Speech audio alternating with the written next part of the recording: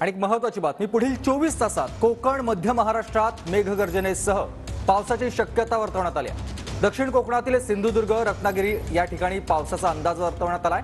तर कोल्हापूर सांगली आणि सातारा या जिल्ह्यात देखील मेघगर्जनेसह पावसाची शक्यता वर्तवण्यात आली आहे. आणखी एक महत्वाची बातमी काळंबावाडी धरणातून कोल्हापूरला अखेर पाणी पोहोचलंय.